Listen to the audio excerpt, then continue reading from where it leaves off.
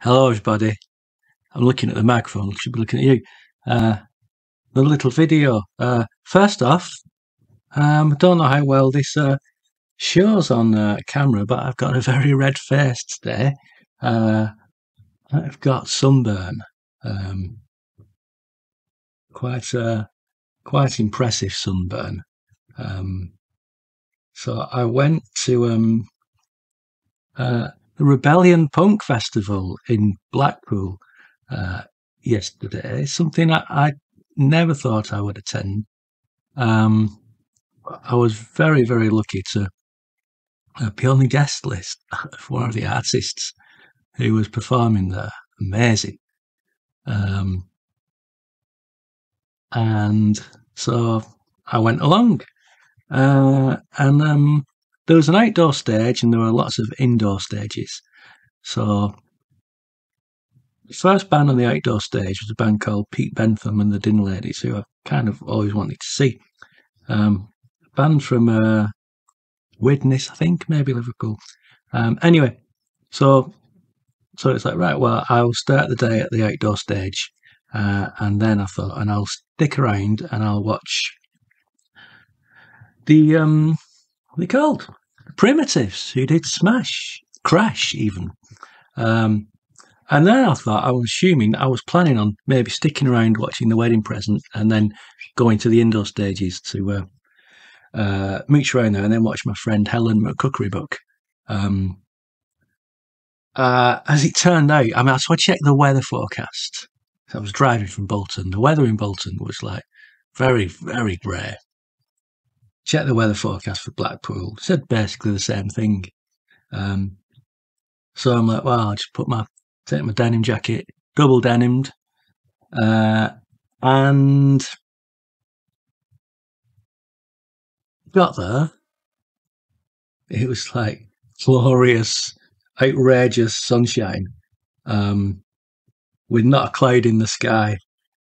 Uh, so I watched two bands. I watched Pete Bentham Dinladies, and then I watched Primitives, and then uh, I had to retreat indoors. Uh, I had no because the weather forecast was bad, or very very average, just or very grey, should I say? Uh, no sun protection at all. Hence the red face. I'm not sure how it's going to show on the camera. Hopefully, it doesn't look too bad. But yeah, just um, oh dear, yeah. So I had a lot of colour in that face. Still have, haven't I? Uh, so this reminded me of what I'm painting today, what I wanted to paint the minute I saw it, and I can't share it. I should have shared it with set this up so I could share the image. But it's a still from a film called Recorder, the Marion Stokes project. Uh, I saw it um, this week, and the minute I saw this image, I, I must paint that. And it's an image of Marion Stokes' husband, John Stokes, and it's taken from a recording of a TV show in the early 70s, I think this one is. Uh, and the colour, the colour just made me go, I have to paint it. I have to paint it. And it's basically deep Prussian blue and lots of yellow ochre. And I just wanted to, it kind of almost an abstract thing. And I really had to paint it. So I'm painting it. Um, now you'll see here, this is not Prussian blue at all. This is a cobalt turquoise blue. I'm using this as a base Prussian blue is going to go over the top of it. Um, it's an experiment. I don't know how it's going to look, but we'll find out. But yeah, I just had to do it. Such rich colours. Um, thought it'd be really good, good thing to do. Um, possibly more interesting for me than for you, but we'll see. Um, so what's this film about? You're all asking me. Recorder, the Marion Stokes project. Well, Marion Stokes was um, a political activist, I would say, in uh, Philadelphia uh, throughout the 60s, and 70s. Um, uh, and she was a she was a black woman, which is partly relevant to the story. There's certainly uh, an element of what she did, uh, which was very valuable, I think, to the black community. Um, but she basically it's a story of what happened when she she got her first um, VCR video cassette recorder, um, a Betamax, and how it the impact it had on her life. She started recording things off TV. I think mostly news, rolling news, and well, local news. Then ultimately rolling news with the advent of 24-hour news channels, and she she never stopped. She just kept going, recording this stuff, uh, and she ultimately amassed a collection numbering around 70,000 videotapes. Yep, 70,000. Um, and when she died, she left all this and fortunately it has been saved and is part of the collection now of the uh, Internet Archive. Um, all this historical stuff, all saved for posterity, uh, for reference, for research. Um, a lot of it's so important.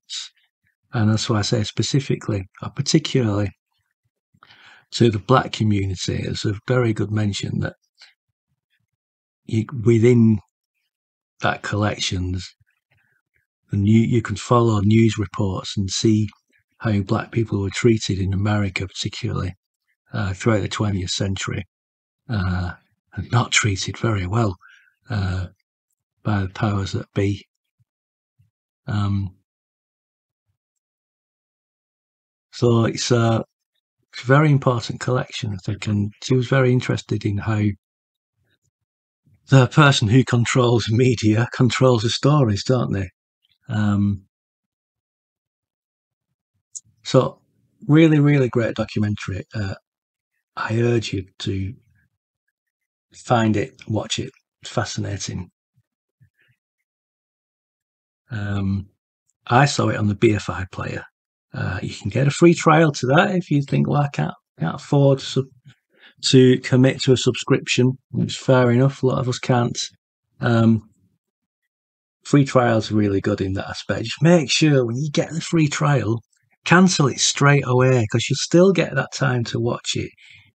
And at the moment, I don't know if it's changed. As, I, as I'm painting this, um, they have an offer on where you can get a month's trial.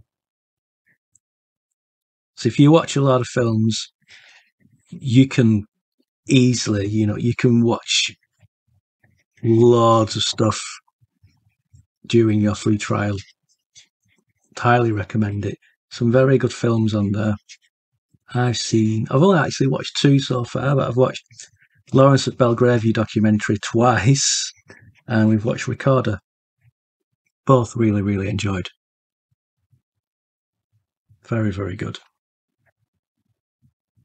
So, so this is her husband. She went on to marry this man. I don't know if they were married at the time of this uh, TV show picture was taken. This is the wrong, using the wrong brush, I think. I think.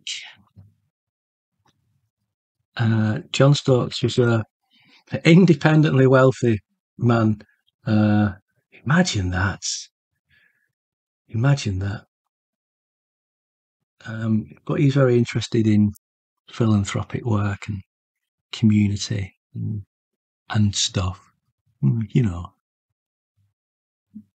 I don't want to talk too much about the details because you, you should really try and find it yourself and watch it. That's interesting. That line I just done, don't like it. Um, it's too precise. I just obliterate it. The thing with watercolours, there are certain things that work as um, detail, a lot of things need to be vague, I find, in order for them to, to look right, to work. And if you start adding too much detail, you can you can kill it quite easily.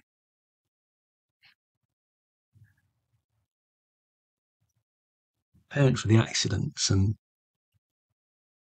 adding detail tends to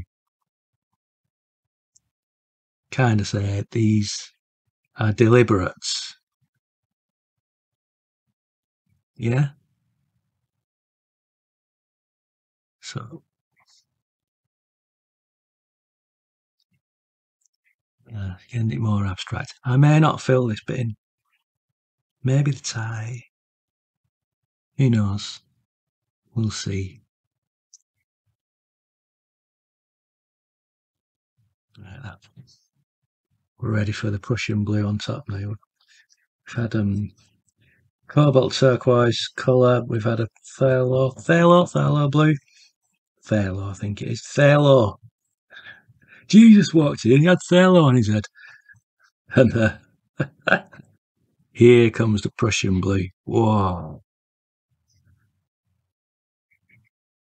Rich. Deep. Need to really pile this colour on, don't don't let it go thin on the brush. You can see using these three blues gives it a lot of depth. You get bits of the other blue showing through. Nice, I like it. I try this combination more often. So rich.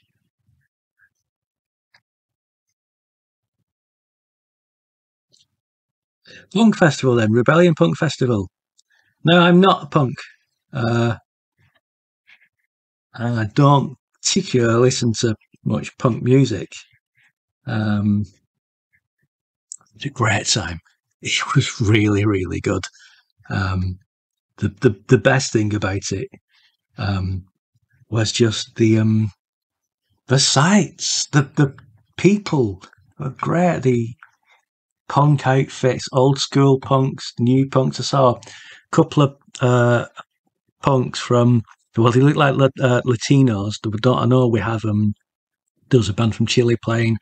Um, they may have been with that band. I think they live over here, obviously. Um, but they look so cool, really, really cool. Um, sharp punks, yeah, Harringtons and pinstripe trousers, and just like really, really cool. Um, loved that look a lot.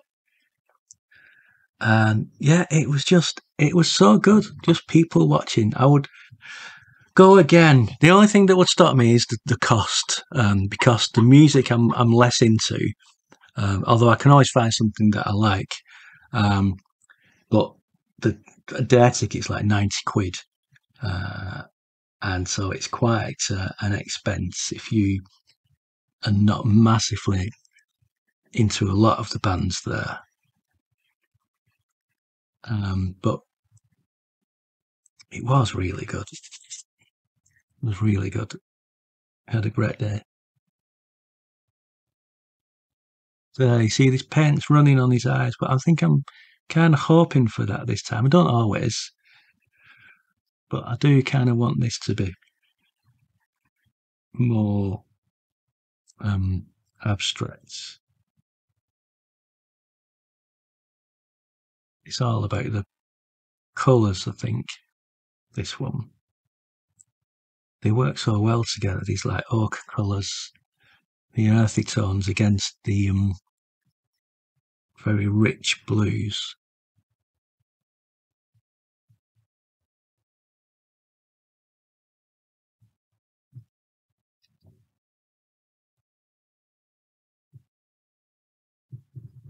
So Yeah. Trying to get it, get some detail correct.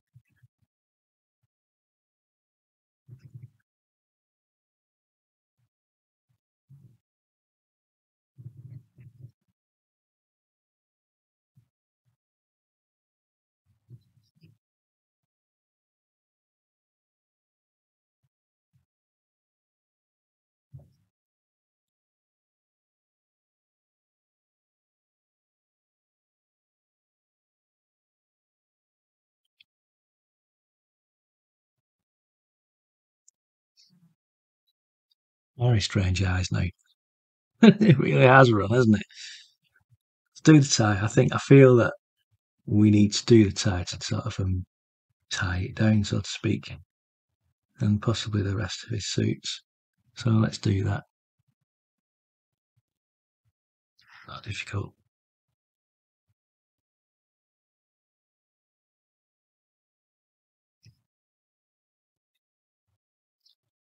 Um, I found an interesting source of images as well. This is via this documentary um, that mentioned that Marion Stokes recordings had gone to the Internet Archive, and that site is a great source of images, especially for drawing faces. Um, because there are loads of um, news reports on it, um, even before they received um, the donation of the Stokes Archive.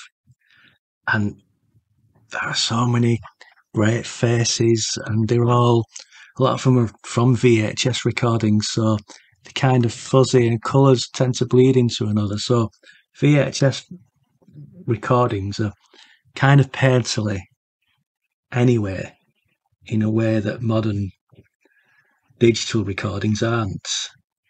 So the, the great to work from. So that's a rough grey.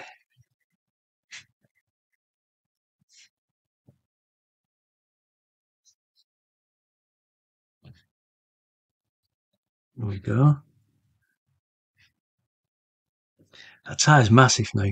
It's not that big in real life. Huge tie. Looks like a 90s footballer with that knot. It's like Gianluca Vialli's knots.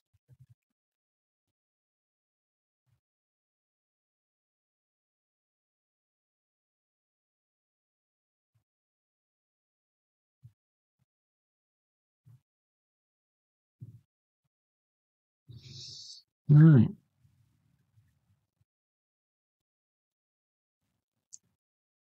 I see. I want more detail in the eyes, the eyes are still wet. And I fear that if I put more detail in now, you can see they're very wet. Just gonna run, can't get detail in. Um, so maybe do I pause it? Do a bit of a time lapse? Don't know. Do I just go for it?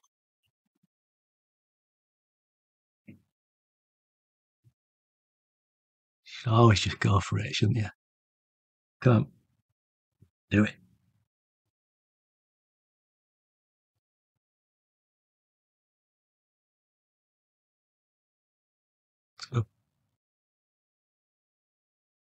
Yeah, it's not running too much. That that makes a big difference already.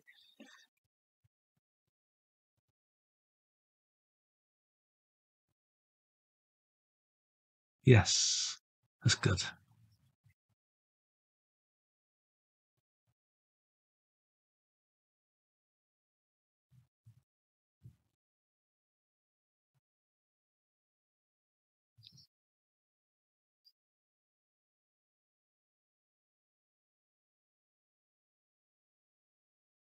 I see this is where the detail works when everything else is kind of blocked in.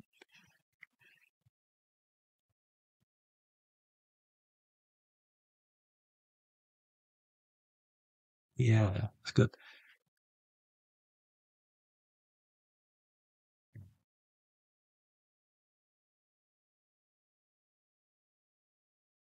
See, I'm slightly more quiet on this drawing because it's uh,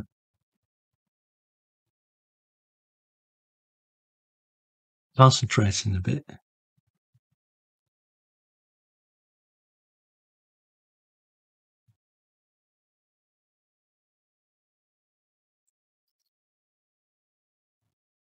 It's looking good. I like it. Do I add a bit of colour to those lips? I'm not sure. They've got this kind of reddish brown here. Let's try it.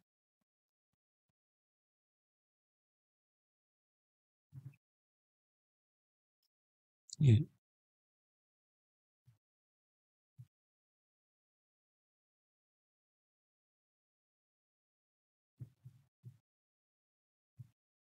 And we got, and we can put a bit of that. No, we can't. Don't be silly. Don't use the same lip colour for the skin.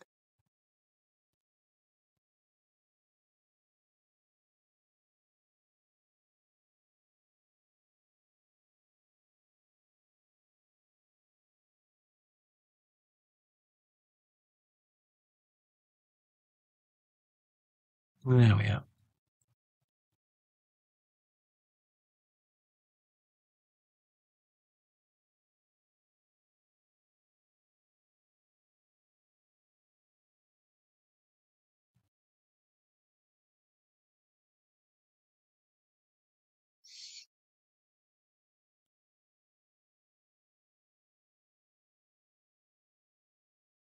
when you're painting portraits, there's always a little line here, and the indentations on the temples. I always find they really help give some definition to the face. Don't forget them. Put them in.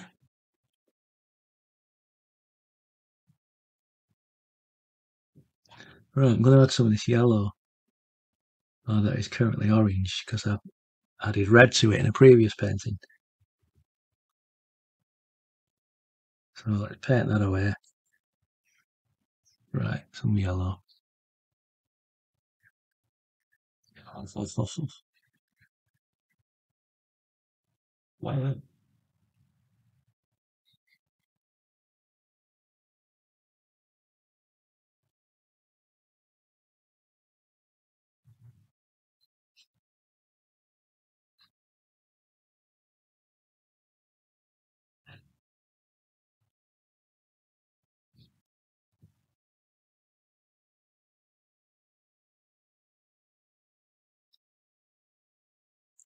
Nice.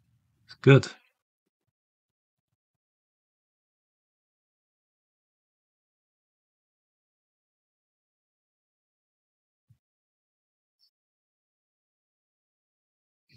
Okay, I'm going to leave it there because I think that's done. Um, I'm going to let that dry. I'll scan it, and uh, I, not not quite done. Tell you what it needs. Needs his lapels starting out.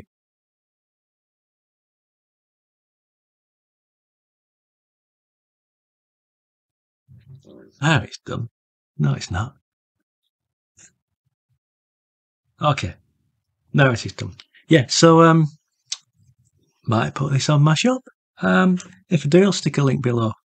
Uh, but basically, people, that's it. Thanks for watching. Go and uh, how I've just seen it on screen. Go and paint your own uh, freaky uh, yellow alien guy. Okay. Bye.